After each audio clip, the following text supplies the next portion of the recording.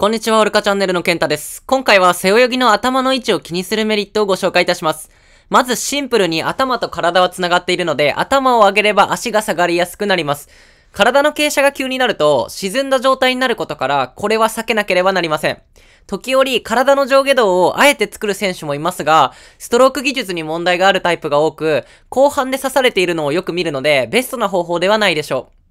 体がぶれないことよりも、頭の位置を気にするメリットとしては、頭が大きく動かなければ、体幹と足の動きも小さくしやすいからです。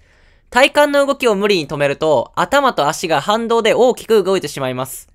このように、直したいのがボディポジションやキックのクオリティであった場合にも、頭の位置をセットしておくことは有意義に働くと考えます。この動画が参考になれば、ぜひチャンネル登録、いいね、お願いします。それではまた次の動画でお会いしましょう。バイバイ。